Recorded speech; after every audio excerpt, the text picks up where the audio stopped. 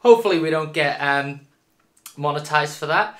But other than that, welcome to Trash Arts Take, Season 2, Episode 12. With myself, Ryan, we got Sam, and we got Jackson. Hey. So please, as ever, guys, leave a like, leave a comment, and subscribe. And uh, on this week's show, Sam's going to bring us up to date with everything industry standard, and um, then we're actually going to be talking about Bond. The reason being is that we were meant to have Bond, well, it was delayed. Um, no Time to Die it was meant to come out in November this year, but it's been pushed back to next year. Um, so, well, we just thought we'd talk about Bond. So, yeah, without further ado, over to you, Sam. Industry. It's been relatively quiet. I blame Thanksgiving. But there were a couple of stories that I uh, picked up on. Uh, Channing Tatum is going to team up with Philip Lord and Miller, who are obviously the geniuses who did the Lego movie uh, and 21 Jump Street. They're going to make a Universal Monster movie. Which is really cool, because the whole Universal Monster movie, they, they've given up on that whole dark universe rubbish and instead are allowing directors to just go, how about this for a monster movie? And it can be serious, comical, not forcing a connection. And it worked for The Invisible Man, so those two together, Channing Tatum, he can be funny as hell as well. So I'm curious what they're going to do. Is there not any like rumors about what what they're doing? No, they're keeping a completely mystery story. All they Ah. know is it's going to be, it's definitely a comedy horror. Ah. So it's you know they're, they're going to go crazy. They, Yeah. they they're very good at using brands and being able to mix them where it doesn't feel too cynical. So um, yeah, we'll see. Yeah. Lord and Miller obviously are just about to do a another because there's loads of astronaut films at the moment, but it's going they're going to do another one with Ryan Gosling, and they've got a bunch of TV series with Apple and rebooting Clone High. So they're busy as hell. So I don't even know when this film's going to get made. But right now, everyone wants just to announce things to get people excited when you know we're in a bit of a void. Talking of voids, Pink Panther is to be uh, remade again. um, How many iter- iterations? well, this one this one seems to be more towards the cartoon. It's a mix of animation and live action, and it's from the guy who did Sonic. So you're like, ah, okay, kind of know what to expect now, right? Yeah. I mean, Kinda I haven't gives me- seen Sonic, so I don't. I don't But it gives me a Roger yeah, Rabbit I get, I vibe. get that. You get the vibe of animation mixed with real people, basically. Yeah. It's, it's one of those sort of stories. And because they can get the animation so closer to the actual, you know, original drawing as opposed to some CGI abomination that the 2000s was full of, I don't know. It's like Tom and Jerry. They've just made a new Tom and Jerry movie and they look like fucking Tom and Jerry, but in the real world because animation is a lot better. Mm. Doesn't mean it's going to be great, but at least it's actually keeping the legacy of those characters for a new generation where you go, yeah, that's the Tom and Jerry I know. I mean, they tried to do a Sonic, didn't they? And they had to quickly reapply it to the other Sonic, and it made loads of money and got some good response. So, talking again of films that may one day get made, because that's what most this week's about. Gremlins 3. Chris Columbus, who was the original writer of Gremlins and the director of Home Alone and a lot of chill. I think he did the first two Harry Potters as well. A lot of those kind of films. He still thinks there's going to be a Gremlins 3. Now, there hasn't been a Gremlins film since 1991. That's a long time. And he's still saying it's going to be practical effects. That doesn't seem very likely in the modern age. And HBO are doing their own animated prequel TV series at the moment, so it sounds more like a fantasy that he'd like to do as opposed to a reality. But I'm all for another Gremlins 3 that's practical effects and nuts. Because the Gremlins films are mental. The second one is so meta, it's nuts. I love it. And finally, we're going to have a QA next Thursday at 8 pm on the Trash Arts Facebook page. This is to help for our Indiegogo for acting and decline. It will feature myself, Ryan will be on it, and we'll have Annabella Rich and hopefully a few others from the cast of Acting in Decline. The idea is we're going to give you a bit more about the films to help for the Indiegogo. Now, we're going to hopefully, uh, we want people to give us questions. So if you want to ask questions about the film or anything to do with the actors, feel free to ask them. Obviously, try and keep it within films. Don't need any harassment. it just be, you know, kind of ruins the flow when harassment comes in, you know. but yeah, we, we hope you can join us next Thursday for the Q and A on Acting Decline. We'll be showing a couple of scenes from the films and talking about them too. And hopefully, you can still support the Indiegogo which the link will be down below. Yeah, and if you can, please go and support it. If you can, just give it a share, um, because yeah, it just widens our scope, and uh, hopefully gets us out there. Um, so yeah, thanks for that, Sam. So this week we decided to talk about Bond. So James Bond has been around for nearly sixty years, believe it or not. Crazy.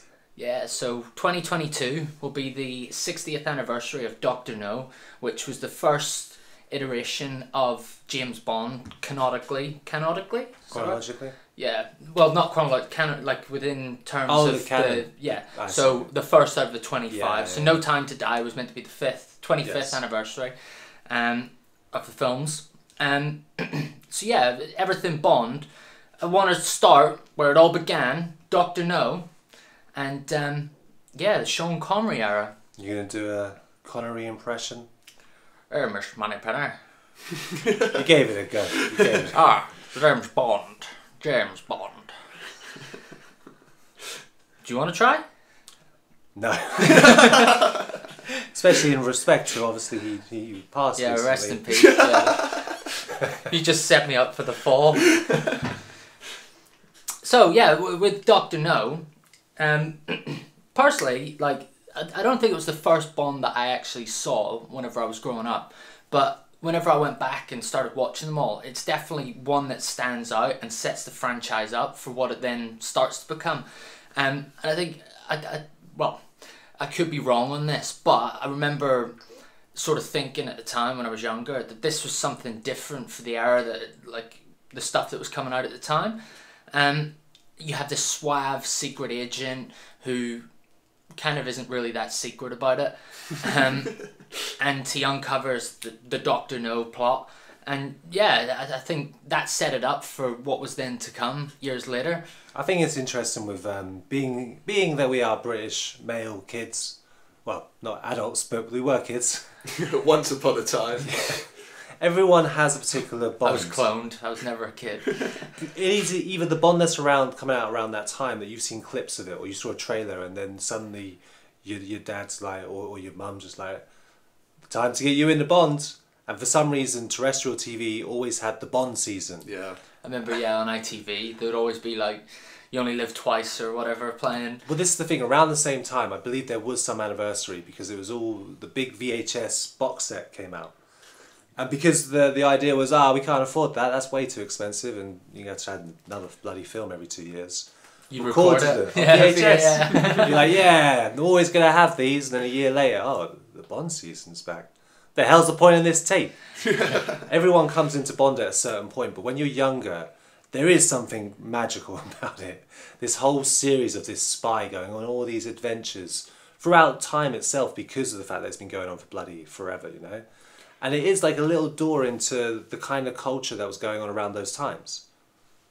I think like yeah, uh, you know, growing up with it, the times that we did when there were so many films, it did, it did feel like more like a series of films rather than sort of like a standalone film. I do wonder like what you know, and the first sort of uh, films came out. Obviously, there were books beforehand, but how people must have felt so differently about them at the time, like you know, because that would have been a, a, a big event, a new thing, kind of. You know, it, it wasn't the same as when you look back retrospectively and go like, look at all of this stuff. This is uh, you Well, know, this is the thing. If you think about serialized films, so we've discussed before with franchises, the Bond franchise comes in at that weird time where I don't know. I don't think there was too many franchises around that time. I think the only other kind of franchise you could sort of argue was around in the 60s is westerns. Well, even well, Pink Panther would be one that started from the from the sixties and like some comedies and things like that. But as far as like a world event kind of franchise, it was one of the first kind of big ones. And the fact that the um, did From Russia with Love come out a year later So that that's one thing I was going to touch crazy. on. The turnaround between the first three films was so quick. So Doctor No came out in 1962. From Russia with Love came out 1963, and then even Goldfinger, which arguably to many fans is the best Bond film hmm. out there, came out in 1964. Now, I if you think about any kind of films that came out between the 60s and even to modern day, the likelihood of having a turnaround within a year is so like rare. But in doing so, they built out the brand. Like the brand was there within those three years, And also with Doctor No, not Doctor No, sorry, with Goldfinger in particular, that's like kind of how most action films got set up after that, like big adventure films of how the bad guy was and how the it was like the archetype of where um, Hollywood action cinema would always take from. It's like the standard, as it were, you know. And I think it, it's kind of crazy they did that within three years of just probably pumping Bond out to that audience like crazy. So it became a cultural icon in a very quick amount of time. Yeah, I mean, I think in terms of it, how quickly Bond became a uh, a cultural icon, as you said, is it, it's partly to do with the fact that uh, life for like the sort of male middle class uh, was just so boring at that time. Like it was just going to work, doing your pointless thing, and coming home and going to work, and like and that sort of broke through that, and that's why I think so many people related to Bond, not because they actually felt like they connected with him, but because that's what they wanted in their life was some excitement, and that uh, they could live through Bond to a certain extent in that. But that was like during the mining stuff, like the northern mining. Well, I mean, a Like lot of, there was 60s, lot of crap 70s. happening around that time. Yeah. that a lot of people were like miners and stuff. The, the thing is also like you're right in that sense, and it's the same for when we when we were teenagers. That life was so big out there, and for you know being a teenage kid, you can't do anything. You can Yeah. just fantasize about a world, and Bond offers the ultimate male fantasy with its problems. A hell of a lot of problems Yeah. in the early films. Always a bit of you know Uh, the- it- not just in the early films, it's it's, It's a- throughout. yeah. Bond. there's a whole sort of misogynistic, Yeah, you know, patriarchal element to it, and there's no way you can get around that. Like you know, you just got to sort of look at it within that context. Yeah. and I, I think that's one of the fun things I, I sort of found about watching. Um, oh, what what the what what was it that we watched the other day? The man with the golden gun. Man with the Golden Gun, yeah, is that thinking of Bond as as a representation of like uh, essentially British colonial patriarchy. Uh, Yeah. it, it's it's funny because it feels satirical. Now it probably wasn't. Like I don't I don't think that they were sitting there going, "This is really clever. Look how much of a dick Bond is being," but like. Yeah, I, I, I found quite a lot of entertainment value in it. What's in interesting- at how awful he was, really. What's interesting about that is um, I think the book series by Ian Fleming started in the 50s, from what I remember. Um, and obviously, England and, well, Britain as a whole were coming off the back of two world wars. Um, the empire wasn't what it was. They'd lost a lot of colonial positions within the world and given up a load of like territory. And this was almost like, oh, well, here, this is what we are still. Like, we've got secret agents that can go out and do whatever they want. And I think that, that appealed to a lot of the audience. It's a, Yeah. a license to kill. It's like, oh, I could do what I want, but like, I'm doing it for the government and I'm, you know, being all for the empire, but I'll be a little bit rebellious and off the cuff. And yeah, it just, I don't know, it, it goes back to that whole idea of people going to work, living their mundane lives, and then seeing this kind of thing that, oh, imagine if I could do that, that'd be awesome. Yeah. But yeah, off the back of two world wars as well, I think that just sort of tried to show to the rest of the world, oh, we're still worth something. Well, that's the thing as well. After that, like after those two world wars, war did change to a certain extent. I mean, you know, the the, the, the sort of nineteen well, basically directly after the Second World War, the Cold War came in, and um, you know the influence of, of the way that the Cold War was fought was entirely differently to to any like other kind of wars Yeah. before it. I think a lot of that was down to nuclear. Well, yeah, it was, but it was also down to the fact that um, these two powers were too big to face each. If they fought each other, it would be The end of the obvious destruction. Yeah, um, and so like you had to, they had to do things in this more sort of subtle way of like proxy wars and stuff like that. That, that's And- where and that's- propagates. It Exactly. propagates from it completely. And, and and it and it and it's sort of like more relevant to people at the time because that's the kind of news that they're reading. Yeah. That's the kind of understanding of the world that they're again, having. Bond's always tried to do that with the times. Each time it's been like, all right, what's going on in real world? What can we make our villain associated with? To a degree, it does. Um, but I, I think sometimes it does it whenever there's been a backlash of one of the other bonds, which I'll touch on in a bit. Um, but yeah, mo- most of the time they do try and fix it on certain aspects like KGB elements. I think I, I, I totaled it up.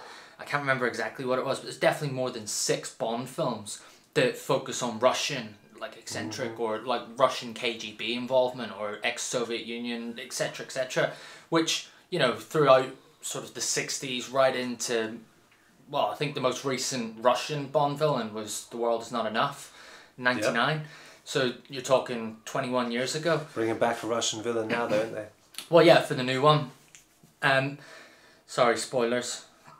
um, if you didn't know that. um, yeah, uh, which is interesting, but a lot of it was like focused on you know people with their own agenda. You've got Blofeld, who was the main sort of villain.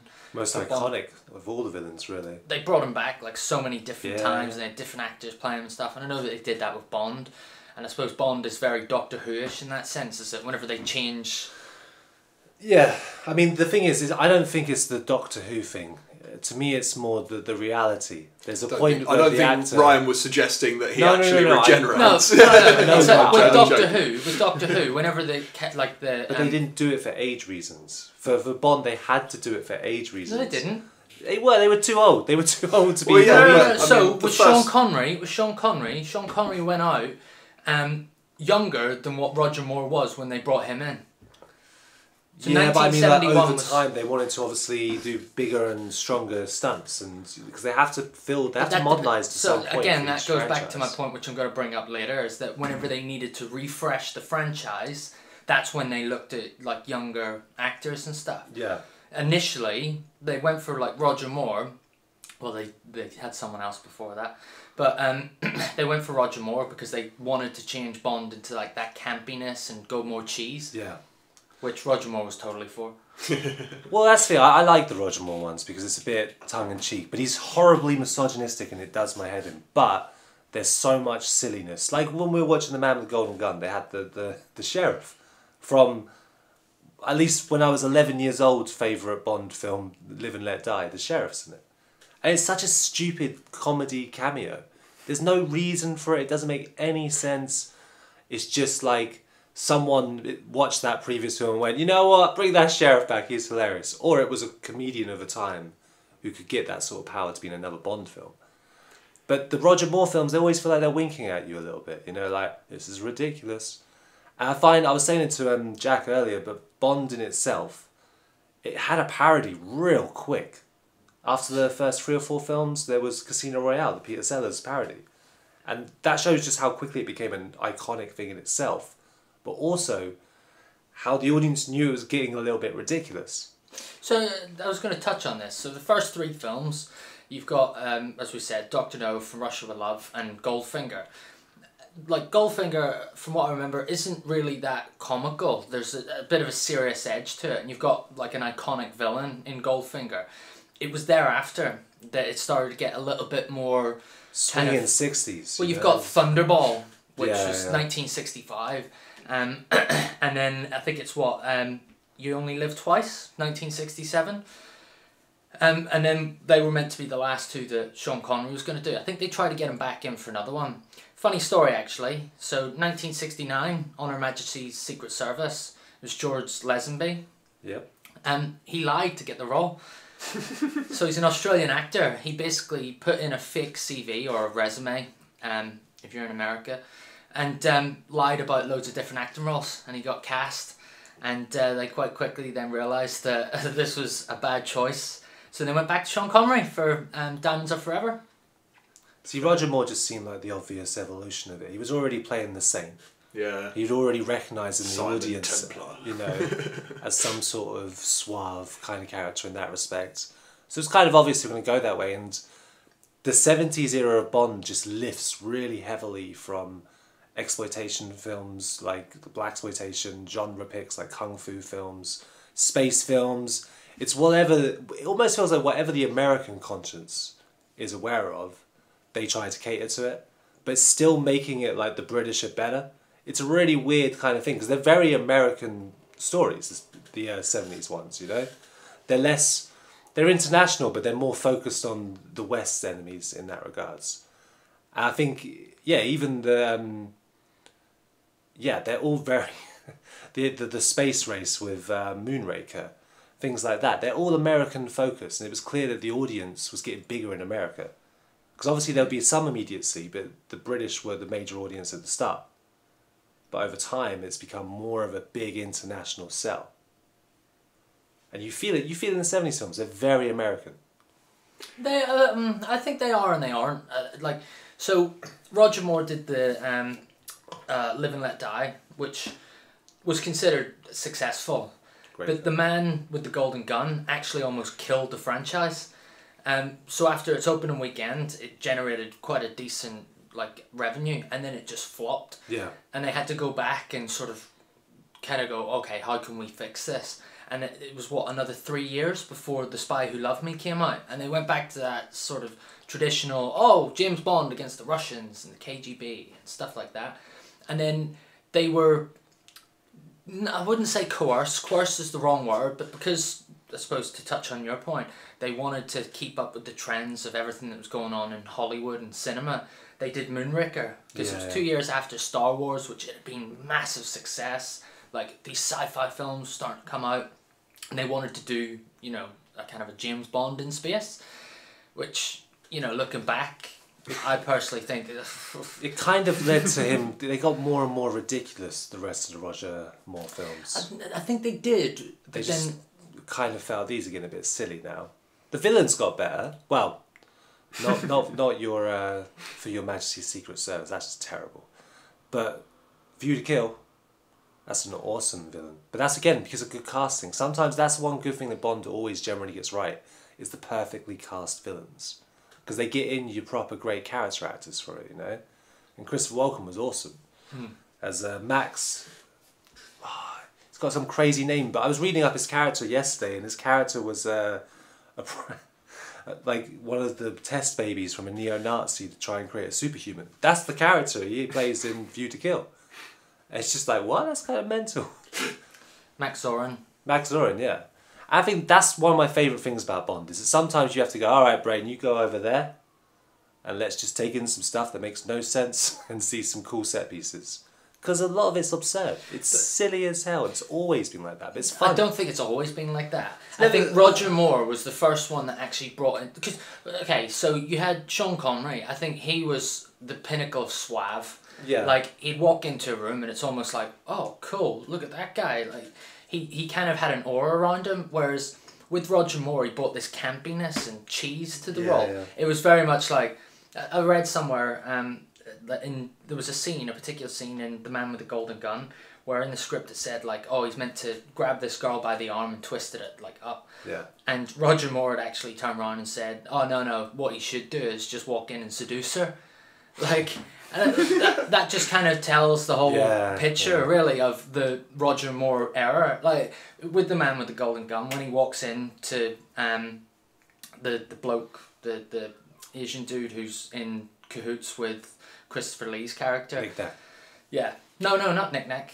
Not the henchman. Oh, I see. You mean the other The- guy who had the sumo wrestlers for Yeah. real as security guards? Um, whenever he kind of walks in there and there's just this naked girl in the, the pool. Yeah. And like she just looks at him and was like, You wanna get in? It's like, you don't know who this dude is. He's just walked onto is private it. property. No, the seventies one plays up so much more to the more I think uh, that's- ugly fantasy types. You know, And there's loads of stereotypes within it of, Yeah. of masculinity and there's a lot of there's lots racial stereotypes as well. It's a very because Britain's always uh, up to, up front, but it's all done in a very I don't know, very Amer- American way. That moment when he pushes that child off the boat that's trying to sell him something, Yeah. it's just like, uh, you've helped me and you're done now. Out of the way. I'm British. it's kind of funny though when to jump into the eighties, so we so we get towards old Timothy Dalton, yeah, like we're getting there.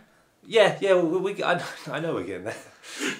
But to uh, yeah, to jump into the eighties, yeah, like if you think about what the new male fantasy as far as um, entertainment was, Indiana Jones. So Indi- and Bond weirdly didn't try to to like chameleon it. So when you think of Timothy Dalton's ones, they're a lot more adult, or they feel a little bit more kind of scuzzy Brian De Palma kind of, you know, that sort of not Scarface, but those sort of gangster films that were going on around there, or crime films. They were just a little bit more sleazy and a bit more of that sexy kind of late eighties. And it's interesting because they could have gone more family orientated and tried to grab the crusade kind of crowd, and they didn't. It's what I. it's a rare case of them trying to show maturity to to the uh, franchise. And Timothy Dalton did a good job of it. The films just nobody really watched them. They weren't as popular, were they? It was kind of like the dying point as far as box office was concerned with Bond.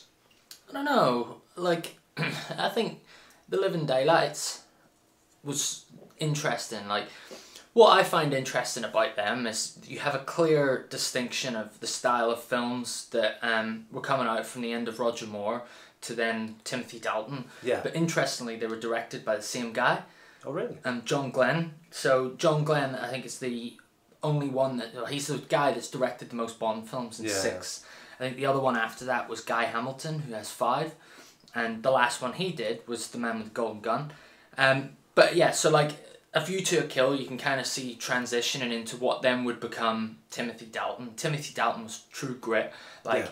hard, bald, sort of. And maybe it was like a massive switch too soon, and that's why that the films probably weren't as. Well, they lost the family audience, especially with License to Kill. I think License to Kill was actually like a It was higher brutal. than Yeah. any other Bond's been. they have a And guy was get brilliant. eaten by a shark, Yeah, it's it's. and they don't really hold back on the, the stuff that you see. I think Bond almost creates parallel universes sometimes where you go, oh, it would have been cool to see where they went with that franchise if he got like a couple more films. And it might have completely changed the direction of where it went. But it didn't make the money. So they, they stopped, didn't they? Mm. And it's a real shame. Because even, um, is, is it Benicio del Toro's in License to Kill? He's the villain. Mhm. I, I just remember them films being really kind I of gritty. he's the bit- henchman, isn't he, for the villain? yeah, yeah. They just felt they didn't feel like Bond films completely, and I think that's why people sort of don't like them because they're not as big and as elaborate as the schemes of Roger Moore or the suaveness of um, Sean Connery. It was too soon to bring in like a more borderline reality based kind of Bond, you know? It's interesting you say that because then Pierce Brosnan got the role for Goldeneye, Yeah. and I would argue that Goldeneye is probably one of, if not, well, probably not the most, but it's probably one of the grittiest Bond films that there is. But what kind of defines it compared to the predecessors is in terms of story. So I think Goldeneye is the first Bond film that really nails the story where there's not like these plot holes. So for example, um, one of the things when we were watching The Man with Golden Gun, um, and you see it traditionally throughout Bond films, is that there's this real like upper class to how they go and kill Bond. It's like they don't just shoot him like nitty gritty, you're done, kind of thing. It's like uh, it, it, it They'll wasn't. capture him and put him somewhere. Yeah, they'll, then, they'll put him with a load of women who will massage him and I mean, stuff. that bit's film. um, and like give him a three course meal and they sit and chat for a little bit and then it's like uh, over dinner they'll be like oh this is how I'm gonna kill you and it's like oh well thanks for telling me your secret plans like and yeah I think Goldeneye kind of goes away from that you, there's always that impending sort of element of danger it's not you never see Sean Bean's character like really sit down with Bond and have a, a, a proper full blown conversation with him. There's the bit where he's telling him why he betrayed him and went against the double O's, but there's never that like, oh James, let's go out for dinner and I'll tell you why, why I turned. You know what I mean? And but that gives it a sense of I don't know. Well, like I say, impending doom. You're always on the edge of your seat, and again with the story, the twist in that. Like I don't think there's another one Bond film where the um you have like a double O, someone that's on his side that turns against them, and Well, this is the thing. I think that's the, the way they do that because of the closeness and having Sean Bean as a great actor, and it, it was just it felt more emotionally connecting than most of the other Bond films tried, and like Goldeneye is sort of going right. We're going to be over the top, but still kind of gritty, and give you what is essentially like. 90s at its purest. but is it is it over the top? Well, it still is because it goes onto the, like the bigger spectrum internationally, whereas the other two they did a bit of international, but it was more. I, from what I remember, License to Kill had something to do with drug dealing. License to Kill was like the cartel. Yeah, yeah. Whereas when we went back into Goldeneye, we're back to Russia. We're back to the international. We've got the, we've got the massive, huge set piece of the tank scene, which is an amazing scene, but it's over the top as hell. You know, it's it's, it's not ridiculous though. And then you got the villain who snaps people's necks with her legs, and she's all sexy and stuff. She crushes them with her thighs. Yeah, It's like, We're going back into the. I have a remember watching that when I was a kid, and it's like, holy shit! But this is it. What's happening to my pee pee? That was horrible. But uh, this this is like it's, it's that particular time when they're trying to go. Those bits that you liked about Bond, we're bringing them back, but we're going to make sure he's a '90s grounded character to some degree. But then I always find weird, like Pierce Brosnan's hair. Yeah, it's the most '90s hair possible. It's shiny and it's just so '90s. And cat's jumped up again. and yeah, it, it feels really dated. All of Pierce Brosnan's work in the '90s because the '90s is one of those horrible decades that gets dated real quick.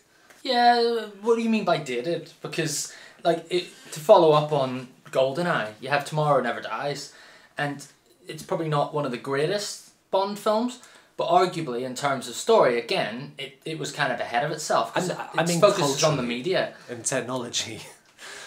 Because they were like, because again, branding is one of the most important things with Bond. They have to shove as many brands in front of your face as possible. The newest car, the newest watch, the newest suit, the newest computer, whatever. And Bond was in that weird time where, did we need Bond? Like obviously We always need Bond. you, you see what I mean? Like we'd gone into such a generation of blockbusters. Blockbusters had dominated cinema once again, and they were making them. We'd already created these new cinema icons and characters to follow and heroes. So with Bond, with it, it was it was a weird way of how it's going to work, and that's why it worked so well. with Goldeneye worked with um, Tomorrow uh, Never Dies, is that the one? And then the other ones, it trailed off very quickly because they didn't know where to put their position. Yeah, I, I think they kind of they lost the character. I think of Pierce Brosnan. They they didn't know what kind of direction to take him in, and whether or not that was just because of um, directorial changes. They changed directors quite frequently um, during Pierce Brosnan's time. But the world is not enough. I personally like it. I know you disagree, Sam. But then Die Another Day, uh, like The worst. I don't even know what the heck's going on in that. has the perfect intro.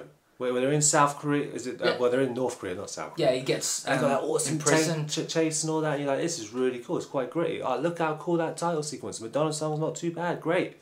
And then it just goes, you know what? Invisible car. There's su- surfing. There's a weird surfing bit. Isn't got there? like a um, a parachute and he's like gliding. And the weapon. surfboard. Explain when you explained the weapon to me again. I was like, that's so stupid. It's as dumb It's as like the man solar with the golden thing. gun, isn't it? It's the same sort of thing. Yeah, like I think the man with the golden gun is in as farce as what the um Which is saying something, right? yeah die another day, die another day. Like he gets his face completely reconfigured so he can look British, and he has a British accent. It's what Yeah. I, I can't remember. Yeah, he he gets his face and all done, and then he kind of infiltrates and befriends the um the government and stuff. But it, it- like again, I'm so loose on it because it was so boring and tedious to follow Yeah. that you just get to a point by the end of it and you're like, thank God that's over. Like, um, and by this point, I think they were just trying to get names in to sort of push the brand a little bit more.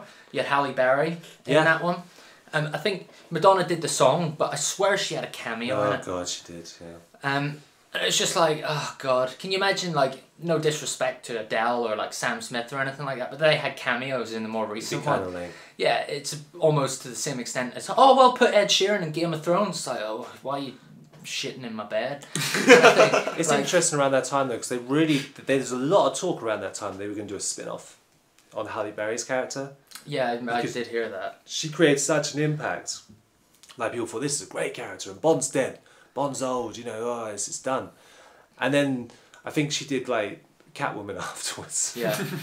and her career went Yeah. right down there.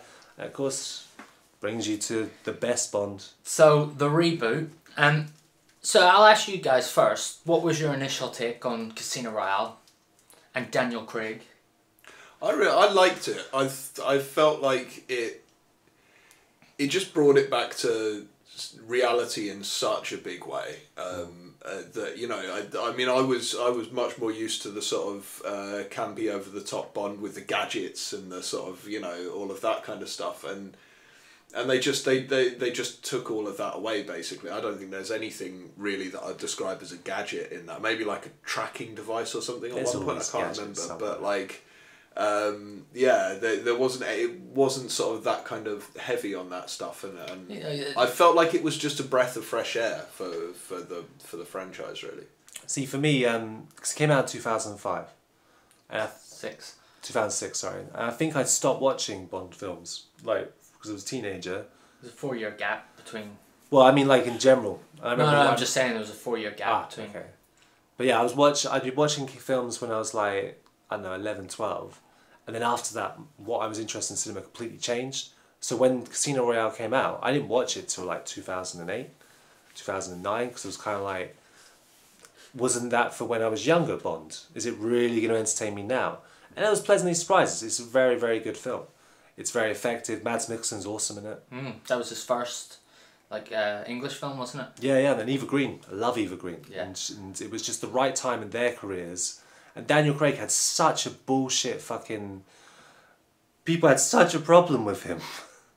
I remember when The Sun and The Mirror and all those papers were like, oh, he's blonde. That's not our Bond. He can't be blonde. And he did this whole like stunt where he was um, going over in a boat. And because he was wearing a life jacket, they were like, look at him, he's weak because he's wearing a life jacket. It's like, he's on a boat. There's always been this weird thing with uh, where they've that, where they've really picked out um, Daniel Craig particularly. For, Yeah. Like it was only a few years ago when when um, Piers Morgan said about uh, Daniel Craig having a baby and oh do we need to see Bond with a baby and it's like he's not Bond he's an actor who plays Bond you idiot.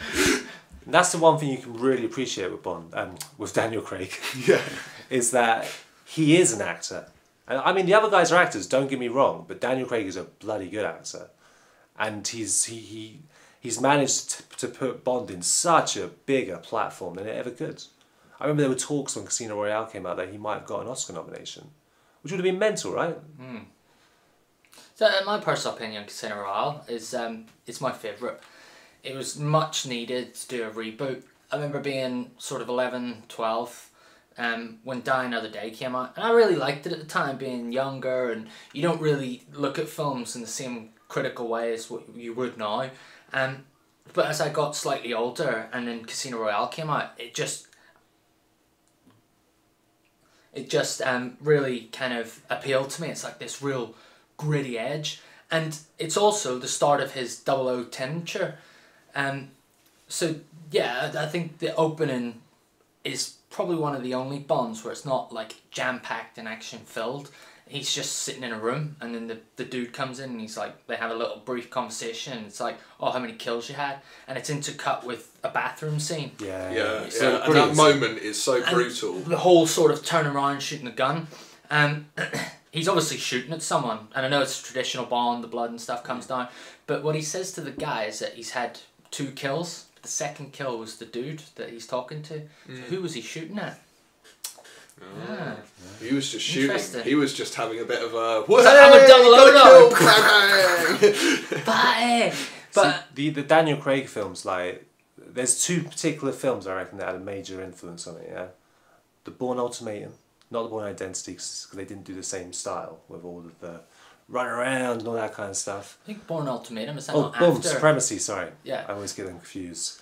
And also Batman Begins, because Batman Begins was one of the big ones that worked for bringing it back to an origin story almost. Yeah, and and bringing it back to reality in that sort of like slightly gritty way Yeah, that yeah, looks uh, yeah. at I would I would argue that yeah okay maybe but there's only a year between the films mm. and I don't think that, that Batman Begins could have come out and then they completely changed their production. Not necessarily that, but it would have been a. I think it's more that they've gotten so far with like the gadgets and the farcicalness with um, Pierce Brosnan and Die Another Day that they thought right okay let's do a completely like factory reset here. I think it was just more like it's the zeitgeist of the time, isn't it? To be like to, to be taking something that was sort of silly and over the It's top. to give you an understanding of how they became that icon, isn't it? That's mm. that's the sort of approach I mean when I think of Batman Begins.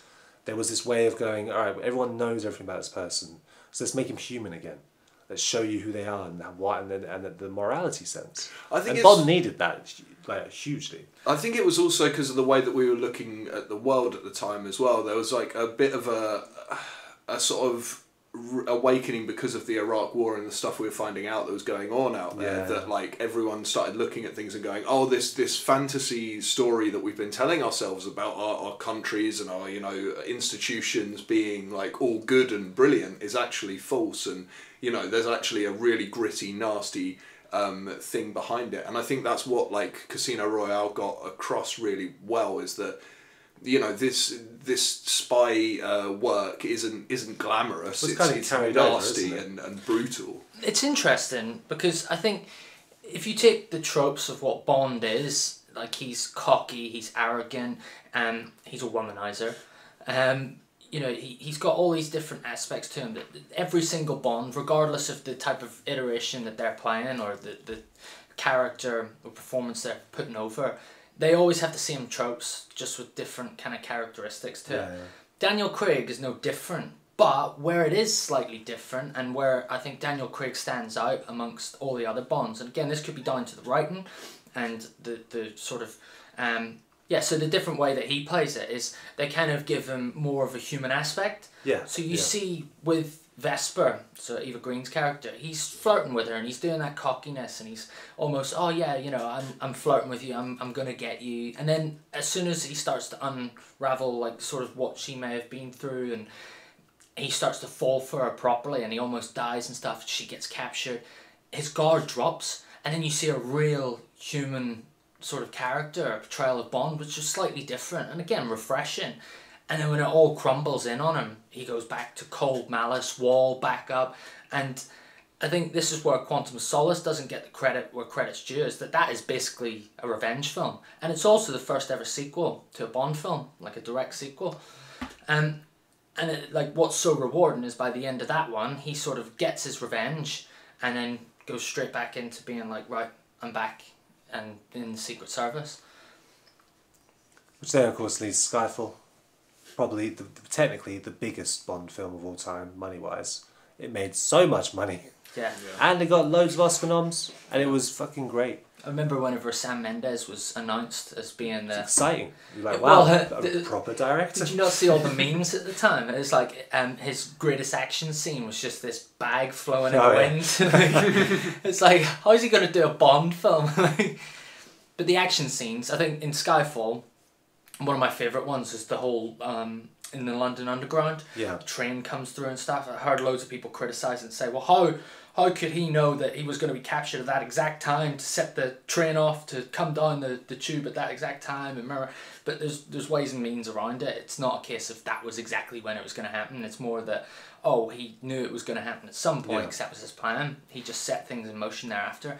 Then they're running through london and stuff and it's like it's good to see bond on the back foot but like desperately on the back foot See, see, for me, like my favorite thing about Skyfall is the fact that it feels like they actually put some effort into filmmaking. They got Roger Deakins, the best cinematographer in the world, to shoot it, and it is the best looking Bond of all the Bonds. There's one scene I always remember: the fight in an elevator sort of thing, and there's massive colours, and it's all done in silhouette. It's just beautiful, and I think what Sam Mendes. uh, and Don't get me wrong, Casino Royale started with all that, but Sam Mendes films really went, you know what, let's make these the highest product. You know, let's make these films that people are anticipating as opposed to going, oh, here comes another Bond. It's like, who are they going to get to direct it? They're going to get a really great director. And Mendes has put such a high pedestal of what's expected now from a director. And um, which is kind of cool that Cary Fukunaga is doing it for um, No Time to Die because he's awesome. And it's a whole like left field choice. was he involved in mindhunter or something What No, was he was True Detective. that was it He directed the f- first full season, which is you know Did stunning. he not do um, the third season as well? He came back and did that. No, Was he not a writer? no. Oh, I thought he was involved. But yeah, True Detective season one's awesome. Like, for me, I think Daniel Craig is greatest Bond. I think Yes. the more recent films have been brilliant and there's a, a sense of realism to them. It does start to go a little bit more farcical as you get to like Skyfall and then Spectre and they kind of are reaching in terms of story. So like with Spectre, they try to link all of the other Daniel Craig films together. Yeah, This yeah. massive syndicate called Spectre, and it's like they kind of did that with Skyfall, and they sort of touched on it in Quantum of Solace, but it wasn't Spectre.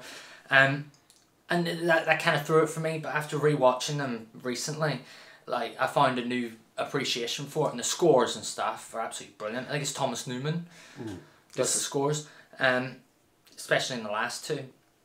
But yeah, th- th- there's just something great about the more recent Bonds um, that just redefine it and bring this sort of sense of realism to it. And it's Daniel Craig. The thing is, they're also like this. It's just like this epic grandeur. You know, they're like proper old school blockbusters, but done really, really well. Where everything's on. It's not just going okay. The side characters don't have to be the greatest actors. They're getting in really good actors to be able to retell the whole Bond story. And I'd like that. Like uh, the guy who plays uh, Q, um, Ben Whishaw. Yeah, yeah. Great actor, brilliant actor. Paddington. Yeah. I, I think that the interesting thing to me about Bond is that you just couldn't make something in the same way now in, in terms Yeah. of like recasting and just saying like oh you know it doesn't matter no one eh, there has there doesn't have to be a rational explanation as to why James Bond's face keeps changing or, or why Q is a different person or why M is a different person. They just said no that all of that doesn't really matter. We're just telling a story and we, Yeah. we you know each Bond film on its own is a story. Like- whereas now like you have to connect things up. You have to sort of say oh well that's you know this is why that has happened. Like the amount of confusion and i think it's partly down to the way that comic book films have changed the, the way that films interact with each other. You know you don't so much have standalone films now. You have like franchises of films that connect to each other. Yeah. um, and yeah bonds you just you, you just couldn't do it anymore. I think uh, to touch on that, they they uh, again the Doctor Who sort of thing. Like um, I remember in Doctor Who, um, whenever they were pushing the whole idea of like changing the Doctor to a woman, they tried it with the Master first, and I think with Bond they tried to sort of do that with M. So at the end of Skyfall, Judi Dench's M dies, and then Ralph Fiennes takes over as M, Yeah. and then he's just referred to as M thereafter. It's kind of like, oh, okay, so M's a code name. Like they probably in future times would try that with Well, 007. They, they the are, co- aren't they? No, Yeah. that's the, yeah. Who's the um the girl the the woman in the new one?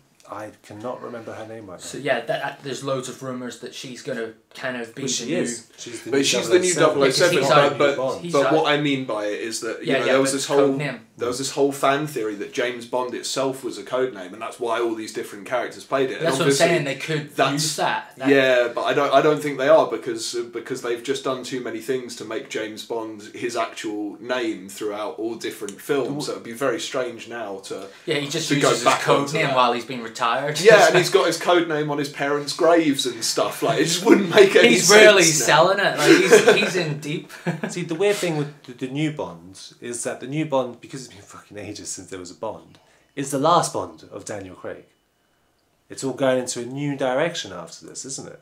yeah. We don't have a clue what it is, but there's been so much anticipation for the last film because it took forever to make. It's kind of curious, but it feels like new, exciting Bond because they're, they're doing diff- things differently because it's a new director. Yeah. Yeah, we'll So, see where it goes. It's yeah. interesting. Interestingly, so it comes out in 2021 now. I think it's November, isn't it, Sam? I think, Or is it May? I think it's April. uh, April, May. Hopefully, I need a bit of extra Bond in my life, simply because in the whole near enough 60 year span of Bond, this has been the longest duration between Bond films. Did you know that? No. Six years it would have been. Fine. Spectre's 2015. Ah. So, um, yeah, we need a little bit of Bond back in our lives. so, on that note, guys, um, hope you really enjoyed the podcast this week. If there's any sort of Bond films that you think are your favourite or you want to comment, um, please leave a comment. Leave a like as it helps the channel. Also, subscribe, ring the little notification bell for um, everything Trash Arts, really. Um, we got new content coming out uh, every week, really. And um, yeah, please check out our website, www.trasharts.co.uk. And other than that, guys, thanks for listening. Peace out. See you later. Bye. Ta-da!